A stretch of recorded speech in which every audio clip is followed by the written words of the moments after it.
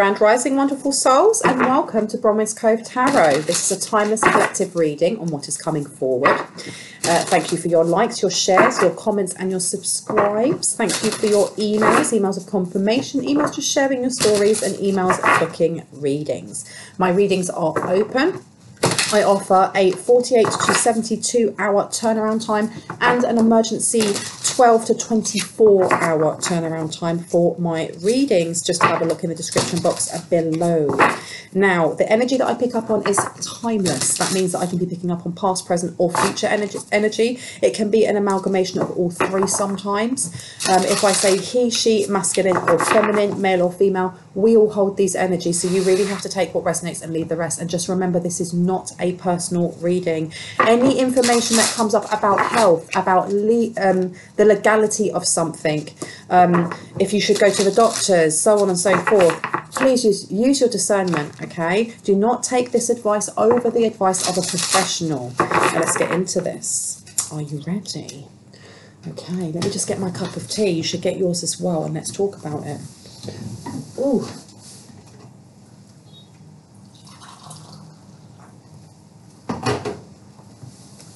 Okay, now let's see. What's to come out today? we have on here open connections and releasing constraints. There is definitely the encouragement at the moment. I had a heart to heart. There's an encouragement to be speaking from the heart, but I feel like someone wants to have a heart to heart with you. There's something about someone seeing the golden the golden shine of yours or the golden I heard this is the golden era because you've got a lot of green coming out, a lot of green and gold, okay? Someone works very closely with Archangel Raphael, and if they don't, they are being encouraged to, especially if they're comfortable with working with angels, because Archangel Raphael um, also sometimes wears a golden robe, and he is very much to do with the heart space, which is green. Now, you also have on here tenderness, true love and compassion, and then open connections Someone here, I keep getting this, this keeps coming through. Someone needs to do a cord removal. Okay, it's going to keep coming up until that message gets out to the person that needs it. Someone needs to do a cord removal because someone is having their energy siphoned. And again, it's a lot of gold. Okay, and nine coming out. Somebody's actually someone's energy is being siphoned by an energy vampire, succubus, incubus, whatever, or even someone pretending to be, or an energy pretending to be um, a member of their team of highest light and resonance. Now you've got on here touching earth, planting something new. Yeah, look at that. Okay, so this is projection. Someone is having the energy of, of um, I heard indecisiveness. And I'm hearing the song by ABBA. If you change your mind, I'm the first in line. Maybe I'm still free. Take a chance on me. But as I'm singing it, all of here, I feel really breathless and like this is intense energy. Somebody is really pushing their energy. They want to get you to change your mind on a door that you may have closed with them. Or if this is somebody from the past, they want to have a heart to heart with you. They're trying to connect um, esoterically as well. So maybe on the ethers, they're trying to connect to your actual chakras. And someone here they already have, and someone literally needs to do a cord removal because this person is they're obsessed. There's something about just being obsessed by your energy. Abundance, yeah, fortune, wealth, and plenty. They realized that when they were around you, they were winning all the time. And for some reason, I'm getting like gambling or like games of chance. And I had this come up in a previous reading not that long ago about um, black cat oil being used. They're trying to recreate the luck that they got and the wealth and the prosperity when you were in their life and they can't get it now. And with this purple coming out, this is very much they've tried getting in psychically and they can't. They literally cannot, and they will not give up the fact. Look, you've got loss and lack. They won't give up the fact that you've gone, you've closed that door, you're no longer in their life. And you've also got here sacred purpose, eternal flame, ancestral legacy, and it's upside down. So this person may have been trying to change their own karma they may have been trying to pass their ancestral karma over to you. You may be somebody who is a karmic um, enforcer, somebody who uh, part of your life purpose is actually to help um, not dish out karma, but it's almost like the universe will place you in certain people's lives or on certain paths at specific times. Um, because the lesson that they learn from you being in their life is the karma that they need at that time, be that negative or positive.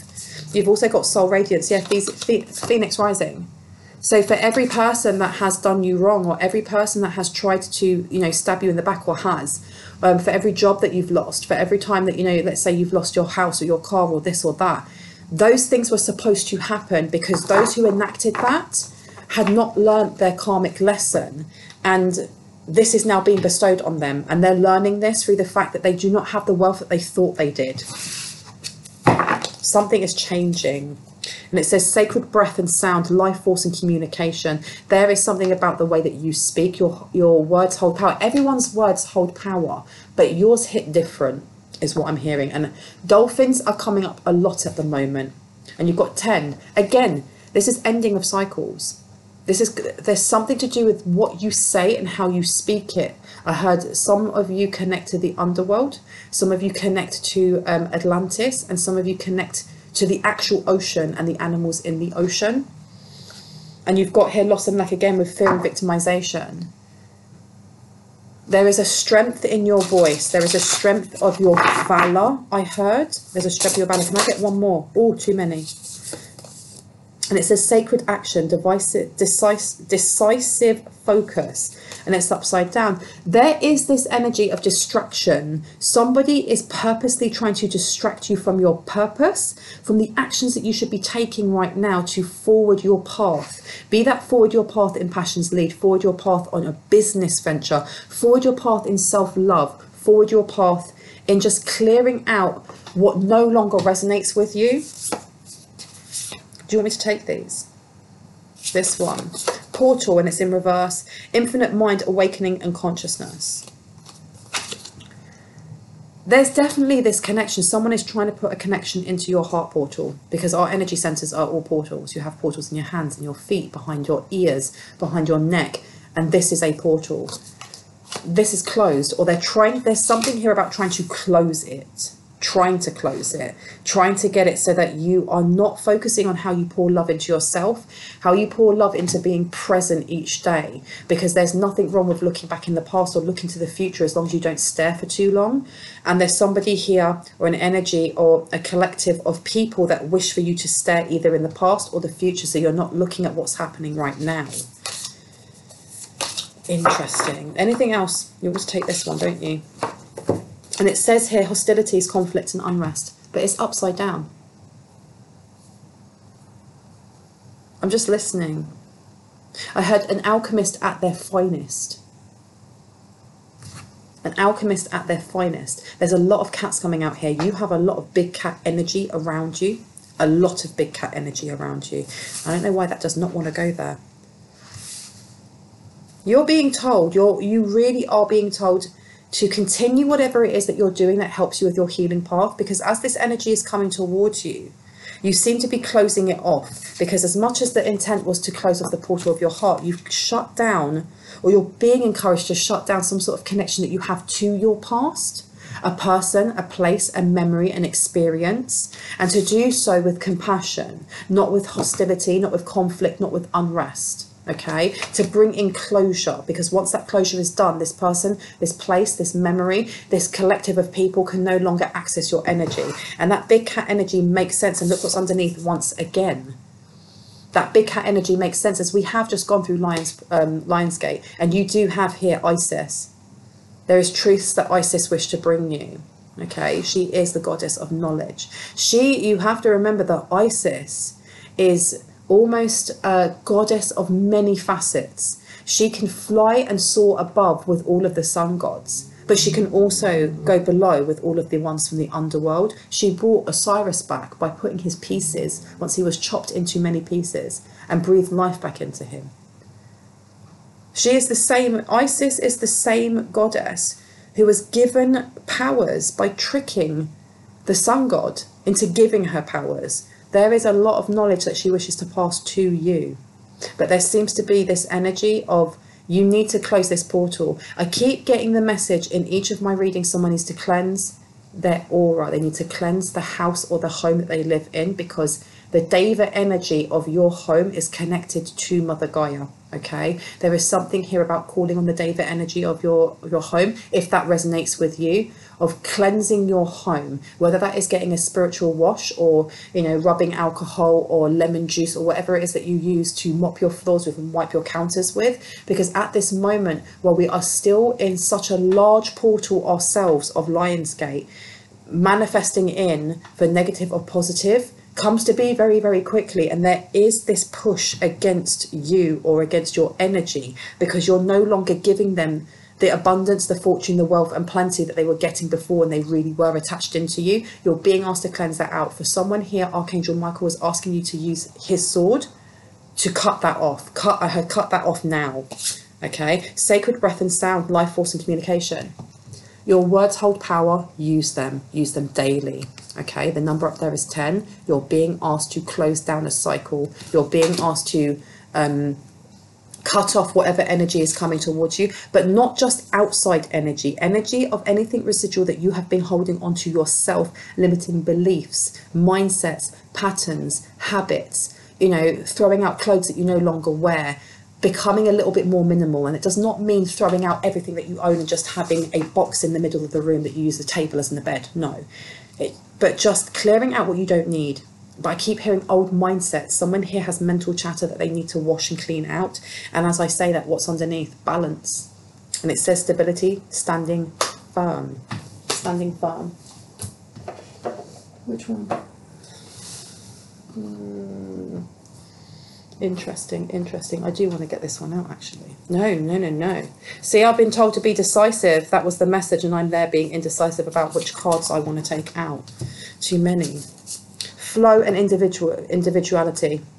Allow me, divine, to move with the flow and respond with calmness and peace. This is what you're being asked to do. You're being asked not to retaliate. If somebody is sending negative energy towards you, be that through intent or through spell work, be that through action, through bullying at work, or through bitchy words, you're being asked to stay in your individual power because over here it says every person has their own personalized study plan in this earth school. Do not dim to fit in, but at the same time, do not retaliate in the same energy energy. Okay, for example, if someone is sending a negative spell work, you can do a return to sender if you wish. Do not hold malice in the same energy that that was sent to you, though. Do not be like, I hope a bitch burns. Excuse my language. Send it back because it's not your energy or grounds that energy. And dolphins are coming out. There's a lot of dolphin energy. And because of that, I actually want to Google what this means. Unfortunately, I do not know what every animal totem is but you are being asked to remove something. Dolphin, spiritual. And it says here the dolphin spirit animal has many qualities and strong symbolism. It generally represents peace and harmony. There you go. This animal of the seas and oceans is joyful, graceful, compassionate, intelligent, generous, and protective. It also symbolizes cooperation and freedom. So you are being asked in whatever it is that you are releasing, whether that is external energies coming towards you or internal energies that need to be purged, that you are doing so with a compassion and with um, a sense of peace and almost like the temperance card. Okay, so if you are sending that back, send it back without malice. Send it back without the intent to hurt or harm. Just that it's not yours and that you are that's that can go back to the universe or it can go back to the person that it was sent to. How interesting, how very interesting to shuffle again. Worth and individuality is coming up. So Worth says, You have been worthy to belong to love all along, without any need to improve. In fact, you are love itself. And again, with individuality, every person has their own personalized study plan in this Earth School. If you are comparing yourself to other people's um, pace of healing, or where they are, if you are looking at influencers, let's say on TikTok or on YouTube, and going, oh my gosh, they have a hundred thousand followers. I'm only just starting my YouTube, or I'm only just starting my TikTok. I've got a hundred. How on earth am I going to get to them? Or do I have to act like they do? Do I have to be really big and jazzy? You have to authentically just be yourself. No matter what the venture is, it doesn't have to be that you're an influencer. It could be that you are starting your own business and you you're watching the other businesses that are doing so well in the same industry and you're trying to copy them. Stop. You're being told to let go of that, let go of trying to compare to others and stick to your internal light to what it was that made you want to do it in the first place. Speak your truth, but don't speak a harsh truth that is covered in illusions of negative bias towards yourself of I will never be worthy or I'll never be as good as them because they've got this, this and this. Your actual truth of how it is that you wanted to go forward, why it is that you wanted to go forward, what it was that you wanted to share, and how that will light you up and those around you. Okay? Because we are all worthy, we are all deserved. And the amount of times that I've spoken to friends before and they're like, you know what, if I could manifest in, or, you know, I'd manifest in like a thousand pounds because I think if I try any more than that, that's not really, you know, I don't deserve any more than that. Why not manifest in a million? Why manifest so small? We are deserved of everything and anything. And it says signs here Instincts are the message from the inner divine. You're being told to look out for messages. Look out for those messages and trust them. Literally trust them.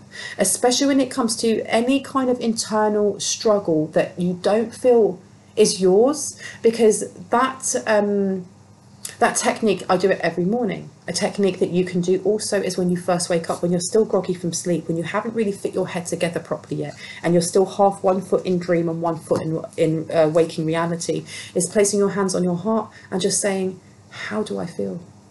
How do I feel?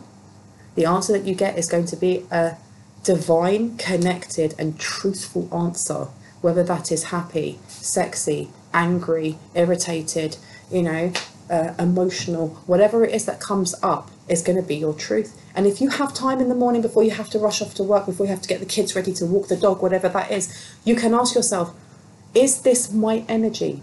Is this my energy? Or is this someone else's?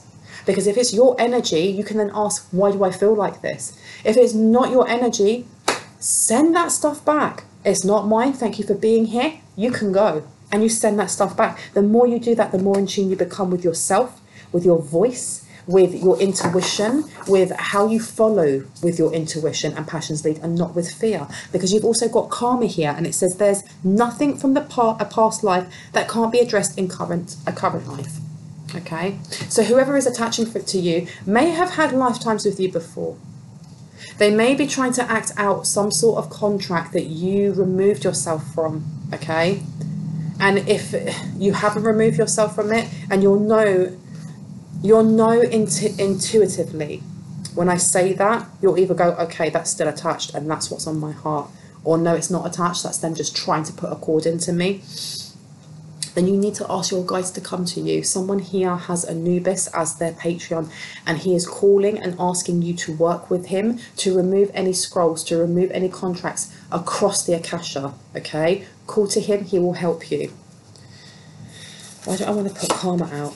The thing is, karma is not just negative, it is also positive, and you have to remember that. So, you want to be looking out for signs of both positive and negative karma. However, you see that because that is going to be personal for you. You've also got ease on here. It's easy for me to receive, it's easy for me to receive, it's easy for me to receive. Someone here has been doing this, someone's been doing their affirmations, and because of that, they're rising like the phoenix. Someone here needs to speak their truth or is speaking their truth, but just remember when you do speak your truth to use compassion no matter the feelings that you have as you are expressing them. Okay? Right, anything else that needs to come out before I go? Let me just take this one here. What else needs to come out? I heard knock on wood. Someone's quite superstitious and drink more water. If you are getting headaches, if you get headaches a lot, I'm hearing you're not grounding yourself enough. There's a jealous lover here. This may be who it is that's trying to attach. This is either a jealous lover, this is a, or a, a scorned lover, someone that you may have left because they either they ghosted you or you ghosted them.